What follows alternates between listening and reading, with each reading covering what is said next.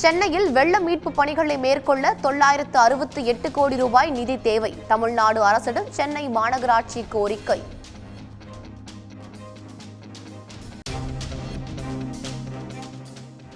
வெள்ள நிவாரணம் ஆறாயிரம் ரூபாய் வழங்குவதற்கான டோக்கன் விநியோகம் தொடங்கியது.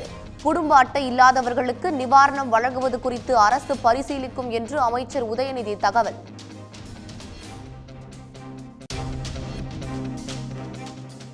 எண்ணூரில் முப்பத்து மூன்று டேங்கர்கள் மூலம் ஏழாயிரத்து இருநூற்று அறுபது லிட்டர் எண்ணெய் கழிவுகள் அகற்றம்.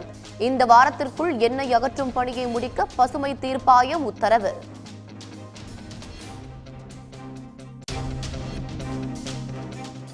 உலக புகழ்பெற்ற நாகூர் தர்காவின் நானூற்று அறுபத்தி ஏழாவது ஆண்டு கந்தூரி விழா கொடியேற்றத்துடன் தொடங்கியது.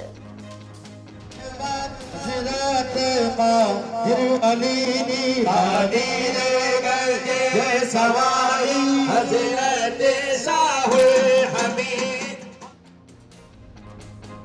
மத நல்லிணக்கத்திற்கு முன்னுதாரணமாக திகழும் தர்காவில் அனைத்து மதத்தினரும் வழிபாடு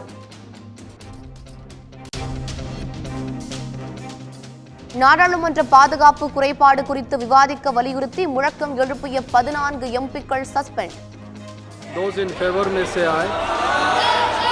Those against may say no. Kanimozhi Su. Venkatesan Jothimani மாணிக்கம் தாக்கூர் சுப்பராயன் உள்ளிட்ட எம்பிக்களை இடைநீக்கம் செய்து தீர்மானம் நிறைவேற்றம்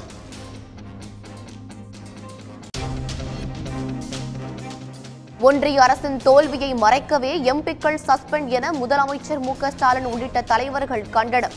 மக்களவையில் அத்துமீறியவர்களுக்கு பரிந்துரை கடிதம் வழங்கிய பாஜக எம்பி மீது நடவடிக்கை எடுக்கவும் வலியுறுத்தல். மூன்றடுக்கு பாதுகாப்பை தாண்டி மக்களவைக்குள் வண்ண புகை குப்பிகளை வீசிய விவகாரம். மூளையாக செயல்பட்ட முக்கிய நபர் டெல்லி போலீசில் சரண்.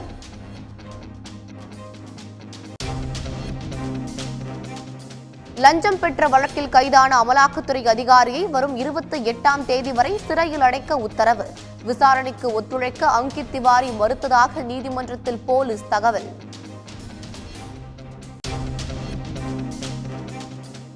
சென்னையிலிருந்து சிங்கப்பூர் செல்ல வேண்டிய ஏர் இந்தியா விமானம் திடீர் ரத்து.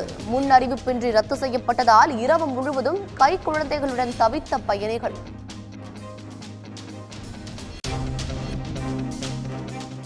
புதுக்கோட்டை ஒசூர் உள்ளிட்ட ஊர்களில் பொங்கல் பண்டிகைக்கு தயாரான செங்கரும்பு. கடந்த ஆண்டை போல அரசே நேரடியாக கொள்முதல் செய்ய விவசாயிகள் கோரிக்கை.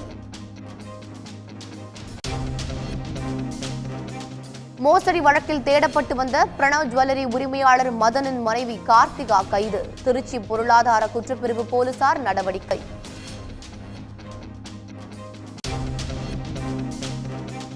தேமுதிக பொதுச் செயலாளராக பிரேமலதா விஜயகாந்த் நியமனம்.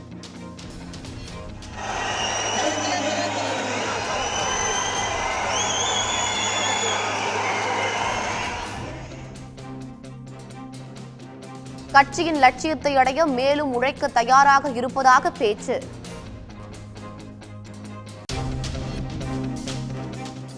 புதுக்கோட்டையில் வேளாண் கருவிகள் விற்பனையில் களம் இறங்கிய வடமாநில தொழிலாளர்கள் மண்வெட்டி அரிவாள் கத்தி உள்ளிட்டவற்றை உடனுக்குடன் தயார் செய்து விற்பனை.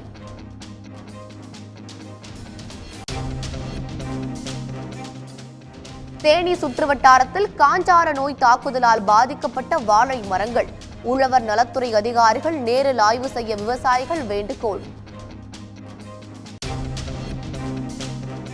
தென்னாப்பிரிக்காவுக்கு எதிரான டி டுவெண்டி கிரிக்கெட் தொடரை சமன் செய்தது இந்தியா. ஜோஹனஸ்பர்கில் நடைபெற்ற இறுதிப் போட்டியில் நூற்று ஆறு ரன்கள் வித்தியாசத்தில் வெற்றி பெற்று அசத்தல். தென்னாப்பிரிக்காவுக்கு எதிரான டி டுவெண்டி போட்டியில் ஐம்பத்தாறு பந்துகளில் சதம் விளாசி அசத்திய சூரியகுமார் யாதவ். டி டுவெண்டி போட்டிகளில் அதிவேகமாக நான்கு சதங்களை விளாசி சாதனை.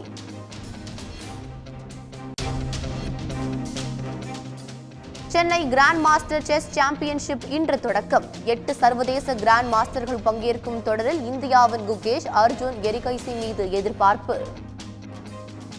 உடனுக்குடன் செய்திகளை தெரிந்து கொள்ள சன் நியூஸ் பெல் ஐகானை கிளிக் பண்ணுங்க.